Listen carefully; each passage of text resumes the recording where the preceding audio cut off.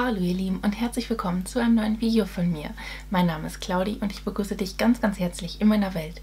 Ich habe es auf Instagram schon angeteasert. Ähm, bei Rossmann konnte man tatsächlich oder kann man aktuell die Catrice Box bestellen. Die Catrice Surprise Box. Also wenn du Bock drauf hast, mit mir zusammen zu erfahren, was sich hier drin verbirgt, dann hol dir was zu essen, hol dir was zu trinken, lehn dich zurück, genieß die Show und viel Spaß mit dem Video. Ja, ich bin sehr gespannt, was sich hier drin verbirgt. Ich habe die dann nämlich noch gar nicht aufgemacht. Ich meinte, dass die 29,99 gekostet hat und irgendwie einen Warenwert von 80 Euro haben soll. Aber ich würde sagen, wir gucken einfach mal rein. Und bei Rossmann gibt es doch diese Surprise-Boxen immer mal wieder. Von ähm, Wet n Wild, von Physicians Formula, jetzt auch von Catrice, von Essence gab es die, glaube ich, auch mal. Und so ein bisschen wird man angeteasert, aber ich will schon ganz genau wissen, was drin ist. Hier sehen wir dann einmal den Blick in die Box und sie ist wirklich gut gefüllt. Ich weiß jetzt nicht, ob man das vielleicht sogar nehmen könnte, oh, um, ähm, hm, ich habe da ein bisschen was umgeknickt, ähm, um gegebenenfalls einen Adventskalender damit zu befüllen. Ich weiß jetzt gar nicht, wie viele Produkte da drin sind. Ich glaube, das war 20-teilig angekündigt. Ja, wir schauen jetzt einfach mal rein. Wir haben hier so einen Flyer mit drin, wo dann auch die Inhaltsstoffe von manchen Produkten draufstehen. Ich weiß nicht, ob das alle betrifft.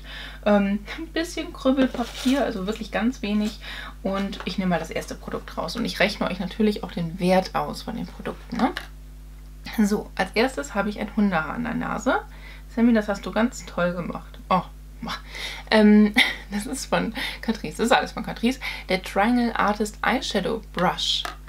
Und der sieht ja mal äh, sehr interessant aus. Komm, das müssen wir uns mal von Namen anschauen. Den muss ich aus seiner Verpackung rausnehmen, weil der sieht aus wie eine Zahnbürste. Das ist so witzig. Das ist wirklich witzig, oder?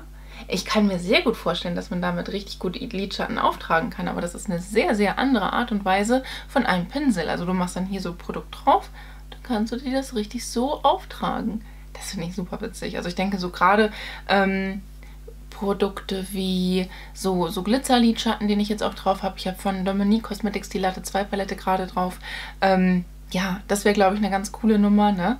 Aber das sieht so witzig aus. Ich, ich feiere den ziemlich.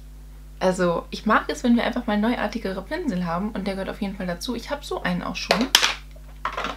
Aber, also aus der Reihe, ne? Das ist dieser hier von Catrice. Den habe ich auch. Den kann man für Puder verwenden, den kannst du aber auch für Foundation, für Cream-Produkte verwenden, Kontur, Blush, was auch immer. Sehr interessant. Okay, das war das erste Produkt. Dann kommen wir zum nächsten. Und zwar haben wir hier das Lip Treatment mit Shea Butter von Catrice. Und das nennt sich Lip Pyjama. Okay, also das kannst du dann am besten wahrscheinlich über Nacht verwenden. Da kann ich mir das auch gut vorstellen. Ansonsten würde ich sowas eher weniger verwenden. Ach, das ist noch zugeklebt. Dann lasse ich das auch mal zugeklebt. Bei manchen Produkten muss ich natürlich erst schauen, ob ich das dann behalten werde. Ne? Aber das hört sich ganz gut für mich an tatsächlich.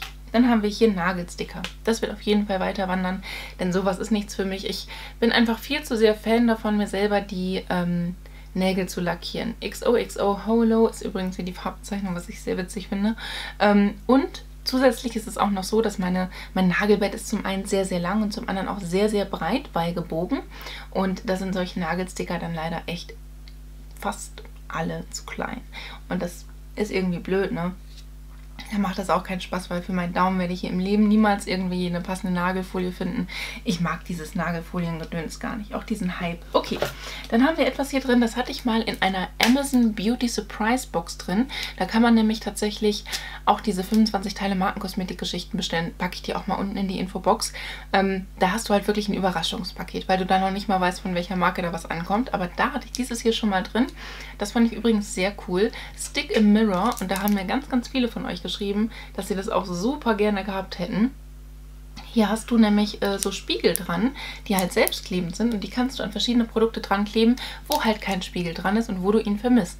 Zum Beispiel diese kleinen Runden sind halt super für Lippenstifte, ähm, dieses größere ist dann für eine Lidschattenpalette zum Beispiel, dieses kleine kannst du verwenden, auch irgendwie für ein Puder oder sowas. Und dann hast du hier noch zwei Runde, also zwei große Runde, mega cool, also da habe ich auch wirklich alle von äh, schon verwendet gehabt und ja, kann ich jetzt auf jeden Fall auch wieder nachlegen in meiner Sammlung, denn ich vermisse immer Spiegel.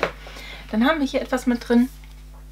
Ja, Magnetic Accent Lashes. Ähm, das ist nicht unbedingt meine Welt. Reusable, easy to apply, no glue needed.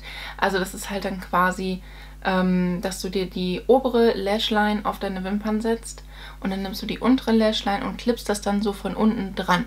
Und äh, für mich ist es ein bisschen zu schwer. Ich habe eine Freundin, die das sehr, sehr gerne macht und verwendet.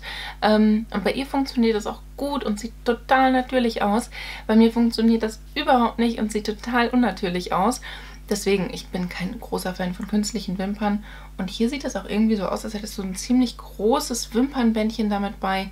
Ich weiß nicht, also nicht ganz so meine Welt. Aber es muss ja nicht alles mir gefallen, ne? das müssen wir ja mal sagen. Dann habe ich hier ein äh, Produkt drin, das ist ein Nagellack. Den finde ich aber sehr, sehr schön. Ähm, Sowas ähnliches habe ich aber schon da tatsächlich. Das ist ein Ico Nails Gel Lacker und das ist die Farbe. Du eine Farbe? Das ist nicht die 54 All That Glitters is Gold. Ja, den hatte ich auch schon mal, glaube ich. Ähm, ich habe so einen ähnlichen da, also ich brauche den ja nicht in 5 Millionen verschiedenen Varianten. Ich denke, der wird in den Nagellack-Adventskalender wandern, den ich sowieso gerade am Packen bin, deswegen macht das schon Sinn. Ähm, der ist aber schon schön, ne? Also den kannst du dir entweder solo aufgeben oder als Topper. Und sowas mag ich eigentlich ganz gerne. Ich bin ja mittlerweile relativ angetan von Nagelprodukten, deswegen, ne, da bin ich auch ganz entspannt. Dann haben wir hier etwas, und das finde ich schön, aber wir haben ja schon einen Lippenbalsamstift drin gehabt. Das ist ein Volumizing Lip Balm. Das ist dieser hier. Und das ist einfach ein Lippenbalsam, der dir die Lippen volumisieren soll. Okay, ja, sieht auch sehr pflegend aus, ne? Wird dann wahrscheinlich einfach durchsichtig auf den Lippen werden. Das finde ich cool. Wir müssen uns natürlich darauf einstellen oder hätten es von Anfang an tun sollen, dass wir in dieser Box auch sehr, sehr viele ausgelistete Produkte drin haben werden. Ne? Das äh, sollte uns allen durchaus bewusst sein. Witzig. Hier habe ich tatsächlich den Pinsel drin, den ich ja schon da habe. Das ist der Powder Brush. Den habe ich euch eben schon gezeigt. Der nennt sich Sloped. Genau, witzig. Habe ich den eben gezeigt und jetzt haben wir den hier mit in der Box. Ja, wie gesagt, also ist äh, abgeschrägt, hat hier natürlich dieses Triangelgedöns. Ich habe diese Limited Edition nicht mitbekommen. Ich wusste nicht, dass sie sowas haben. Ja, hier oben drauf ist er dann halt, also von dem Pinselhahn, man sieht es wahrscheinlich, wenn ich da so gegendrücke, ne? Es ist halt sehr, sehr leicht gebunden, also es ist nicht so fest gebunden, aber du kannst es halt so als Zwischending von einem äh, Foundation-Pinsel und einem Stippling-Brush verwenden. Und so mache ich das auch ganz gerne. Der gefällt mir.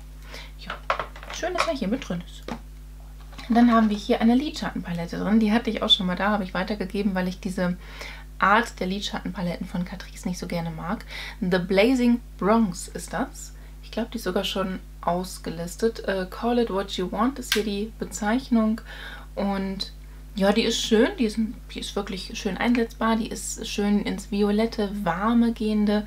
Ähm, ja, aber ich mag halt diese Arten von Catrice, von diesen Fändchenarten nicht so gerne. Die einzige, die ich von diesen Fändchenarten akzeptiere, oder die zwei einzigen, ist einmal die ähm, Maybelline City irgendwas und die äh, Essence Rose Nudes oder so heißt die, glaube ich. Weiß ich nicht. Aber auf jeden Fall ist auch sehr ähnlich, weil du halt nicht wirklich so Erhebungen hast oder die Fändchen liegen halt nicht tiefer oder höher oder sonst irgendwas, sodass du halt ständig... Mir gefällt das nicht. Ich finde es einfach, einfach nicht ansprechend. Okay, dann haben wir hier noch einen von den Pinseln drin. Der ist ja geil. Boah, sieht der gut aus. Ähm, das ist dieser hier, der nennt sich Natural und den hole ich jetzt auch mal aus seiner Verpackung raus. Den finde ich ja richtig cool. Also diese Form, ne, das ist so ganz anders.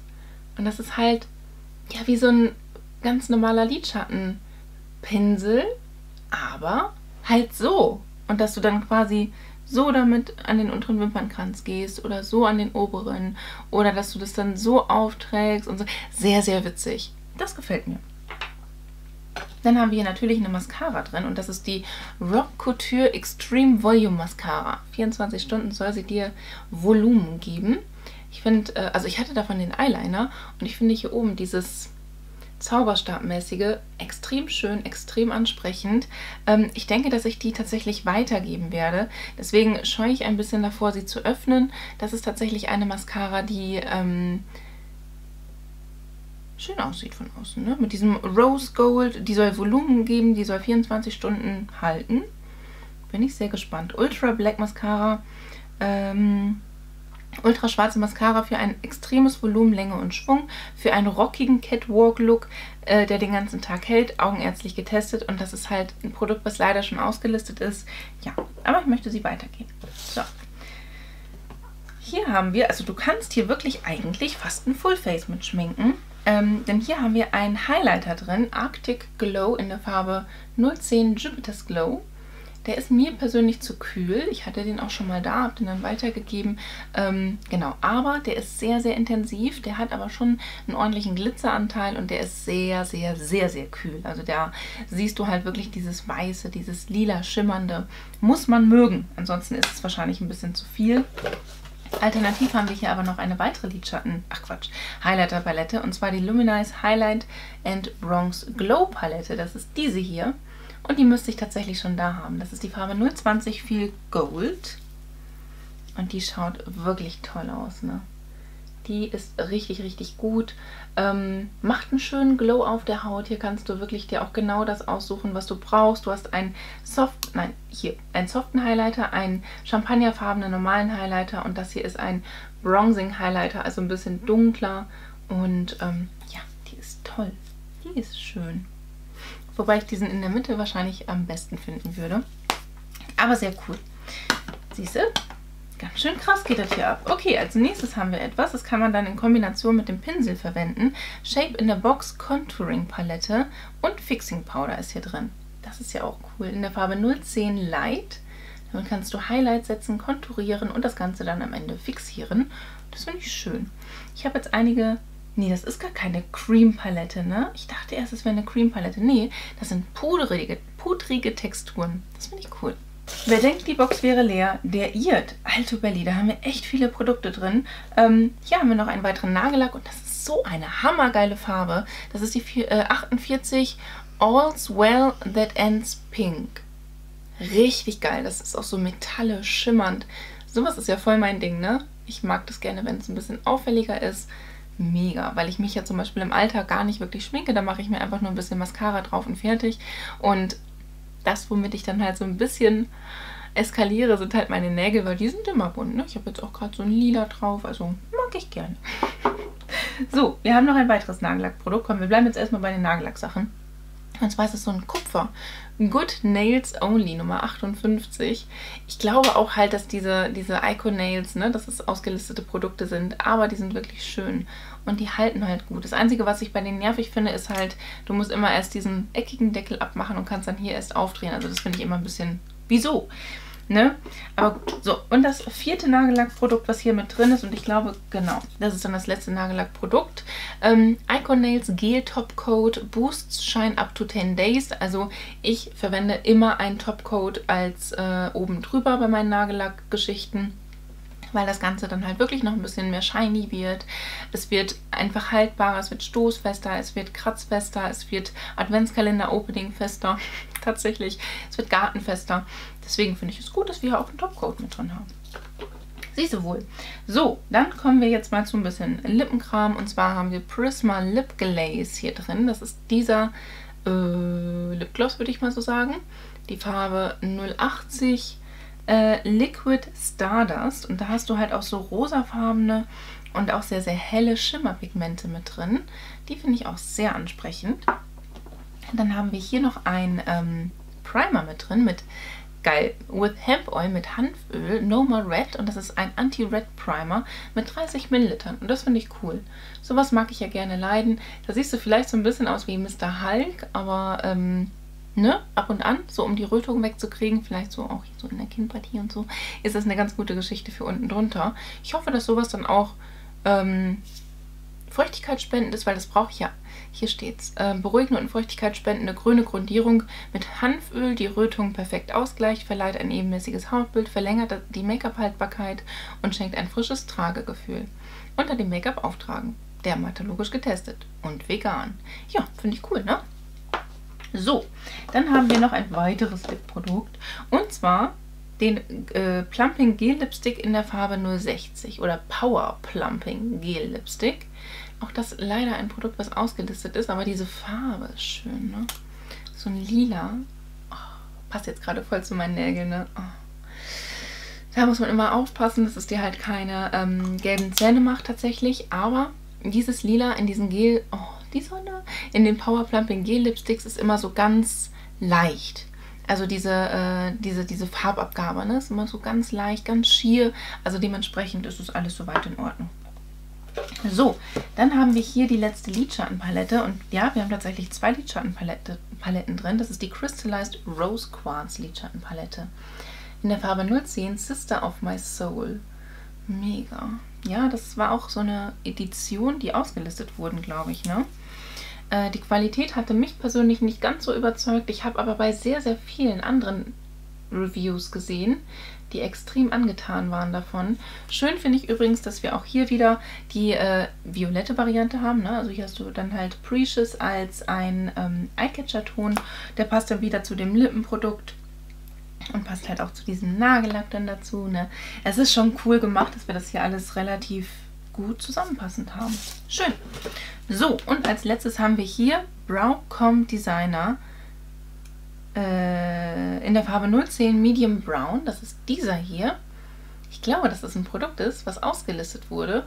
Aber Catrice hat jetzt ja sowas ähnliches wieder mit reingenommen. Ich glaube, dass das hier das Produkt ist, äh, was Maxime Giacomo immer so geil findet. Weiß ich nicht. Micro Precise. Oder ist es noch ein anderes? Ich weiß nicht. Das sind so drei Zacken. Ich komme mit sowas nicht wirklich klar, muss ich gestehen. Das ist halt so ein Filzstift Applikator, mit dem kannst du dir auch so feine Härchen einziehen.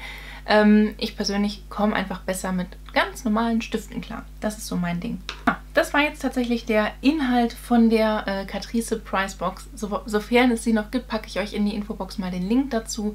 Und jo, ne, ich fand sie sehr gelungen. Also wie gesagt, 29,99, soweit ich das richtig im Kopf habe, hat die gekostet. Ich finde das für die Fülle an Produkten, die man bekommt, durchaus legitim. Und ähm, ja, das war es auch schon von mir. Wenn dir das Video gefallen hat, lass mir doch sehr, sehr gerne einen Daumen nach oben da. Würde ich mich mega drüber freuen. Ansonsten wünsche ich dir einen wunderschönen Tag, einen wunderschönen Abend. Lass es dir ganz einfach gut gehen. Fühl dich ganz doll gedrückt von mir. Ich verlinke dir mal hier oben meine Playlist mit den ganzen Unboxings meiner Abo-Boxen, auch wenn das keine ist, aber gut. Hier unten meinen neuesten Upload, auf dieser Seite noch ein Video von mir und hier oben kannst du, wenn du möchtest und es vielleicht noch nicht getan hast, mich sehr, sehr gerne einmal kostenlos abonnieren. Ich würde mich echt von Herzen darüber freuen. Lass es dir gut gehen und hoffentlich bis zum nächsten Mal. Ciao!